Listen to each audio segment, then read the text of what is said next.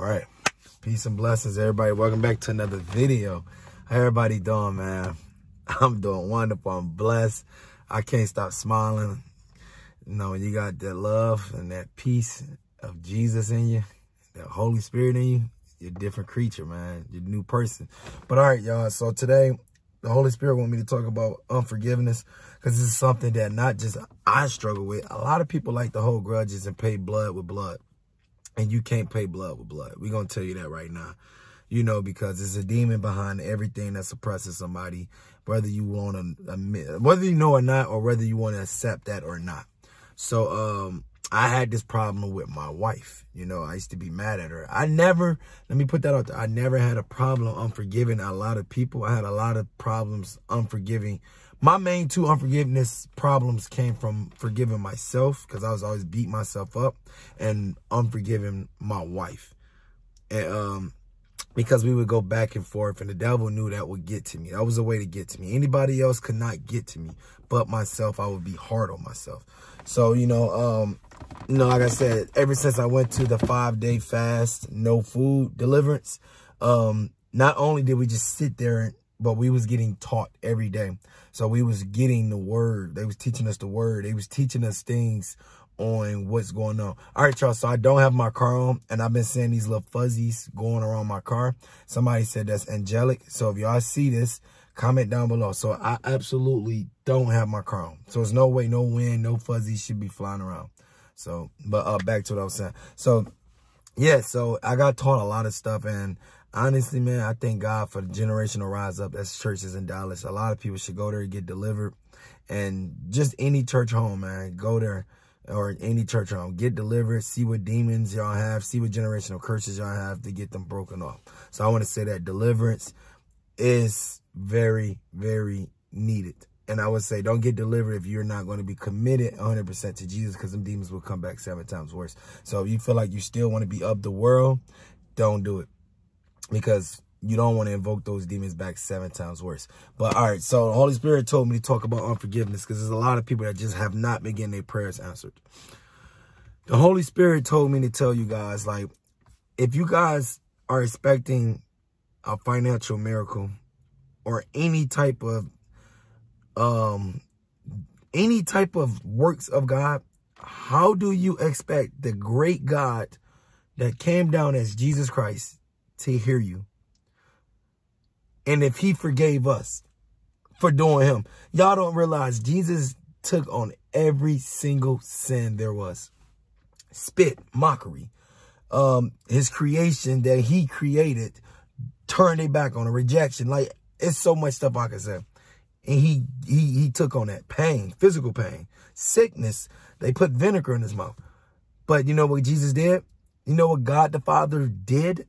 He sent his son, which is him, human version, to forgive. A form of forgiveness is a form of love. That's showing humility, love, and patience. Because it takes a real person, a real guy, a real woman to love on somebody that did them wrong. And that's human that's humility because you're humbling yourself, right? So that's how God the Father works. He's a humble God. He came down as Jesus. He could have came down as this masquerade human being with all type of fire coming out of his eyes. But he came down and he lived among humans. And he's God. Imagine coming down humbling yourself like that as a God, right?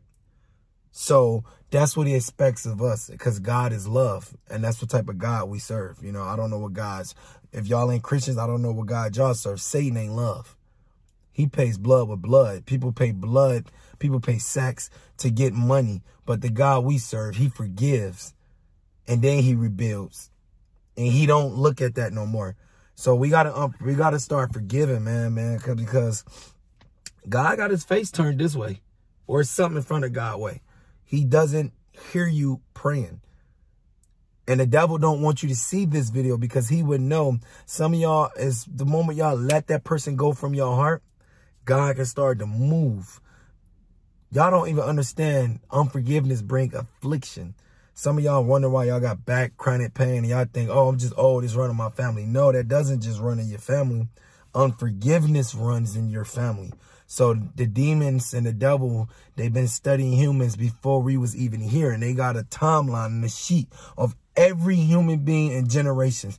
Oh, his dad struggled with unforgiveness. Let's do rejection so he can unforgive her. So that way we can attack that knee. And boom, that's how generational curses come about as far as like pain.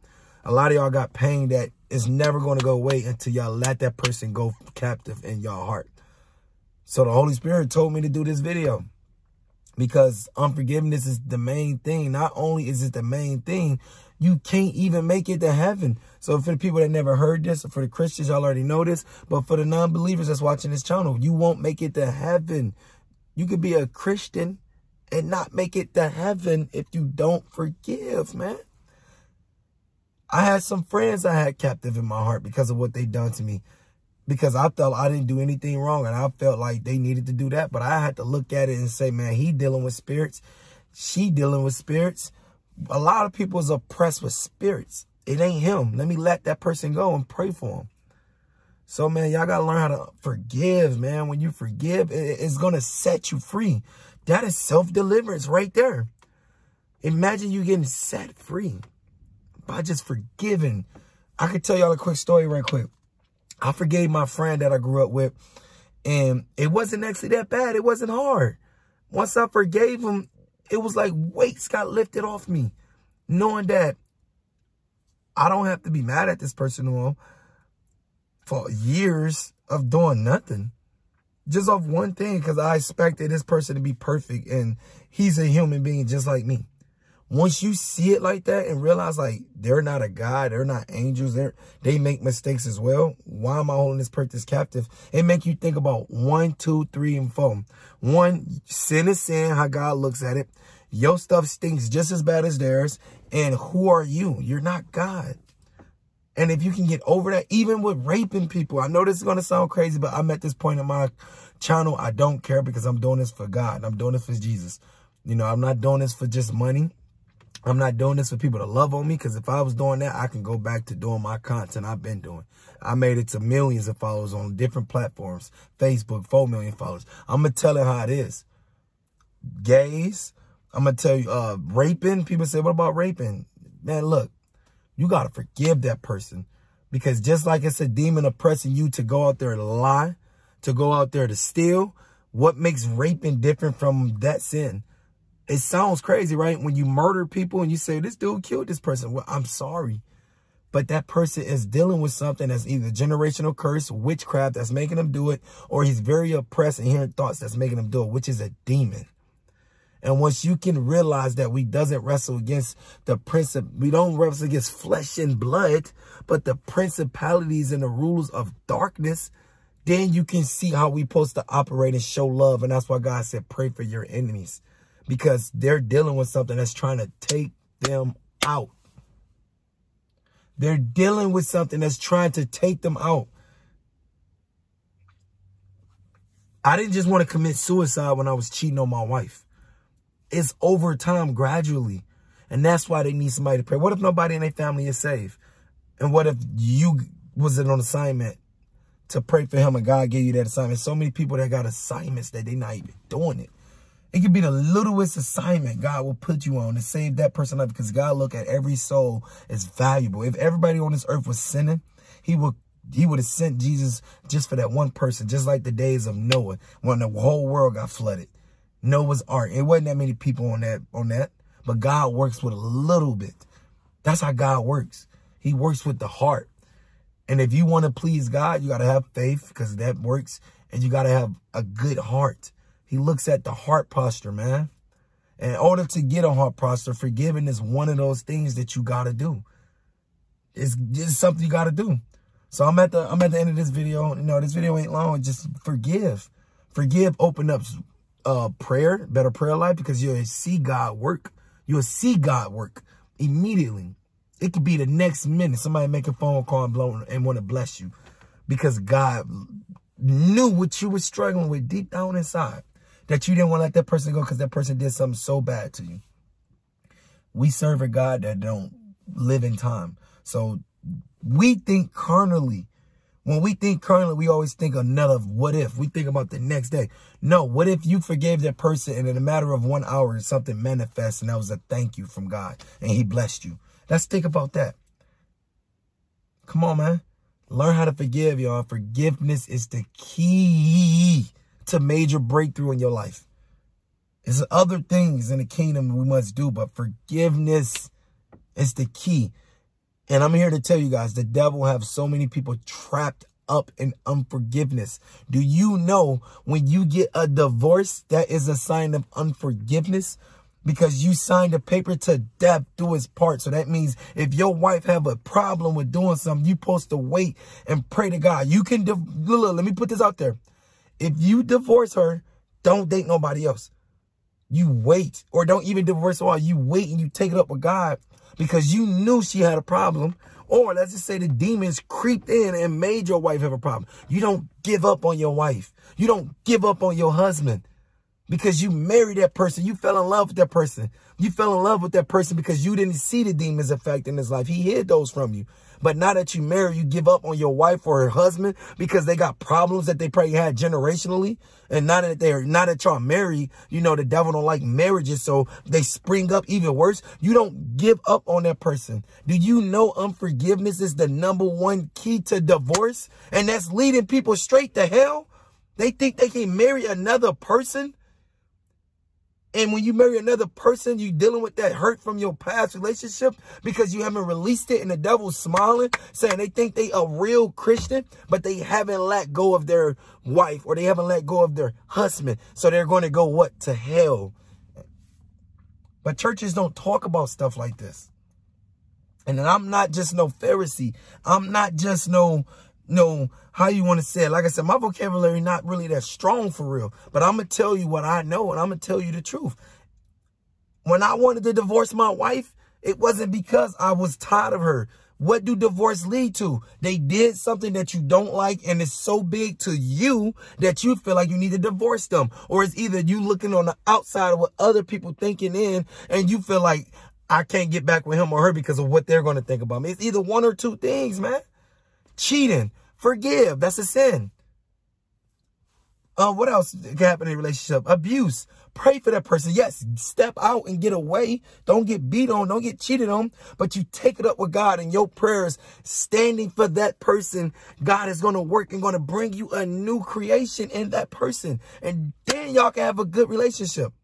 But this got a lot to do with even sibling problems, mother problems, dad problems. Forgive. Because I keep telling this. I think I did three videos on this.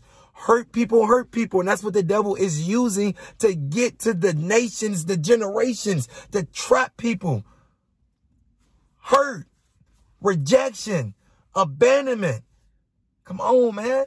If we wake up and show love and preach the gospel and tell people about the wonders of Jesus Christ, it's not going to be it's not going to be easy. Look how long it took me. But I'm here to let you guys know it's more valuable than any money, gold, or riches. Jesus, I'm telling you. And learning how to forgive. I ain't no preacher. I ain't none of that. I'm Joel TV, but I'm going to tell y'all the truth. I lived my whole life with unforgiveness in my heart. And I had a hard life. I'm 30 years old. I've been through some stuff. A lot of times the money hit it, but that only lasts so long. That only lasts so long when you can hide behind money. Because I could tell you every single time I made money, I was happy for one week because I was proud of the accomplishment and I was back in depression. There's only so much stuff you can buy. There's only so many cars I can own. Come on, man. There's only so much houses I bought that was depressed. There's only so many females I slept with. I was an athlete. I didn't like doing drugs, but there's only so much drugs you can do before you overdose. There's only so much liquor you can drink before you crash. This is the plot of the enemy. And it starts with what? Unforgiveness. I'm out, y'all. Like, subscribe, comment down below. Jesus Revolution. Uh, I'm holding y'all accountable. Drop a video. Tag me. Tag my wife um, on IG. We repost it, man. Tag a video of what God has brought you out of all throughout your life. Any testimony, because the power of a testimony will save somebody. And you will probably be the next big YouTuber preaching the gospel. That's still a YouTube creator. You're just doing it for God. You're just doing it for Jesus. Come on, man. Let's start this revolution. The revolution means it's going to be a change on the internet. It's not going to be the same sexual content that I used to do, that all these other creators is doing. It's going to be good for your soul. Because let me tell y'all something, man. Sickness of the soul is real. I just learned that at my deliverance. I didn't know nothing about that. Sickness of the soul is you either depressed, you're it's something your soul is so sick, it's manifesting in your body. Shout out to my spiritual mama, mama, man. I love her to death. That lady got so much knowledge. And shout out, like I said, to my church I go to, Generational Rise Up. Shout out to my coach.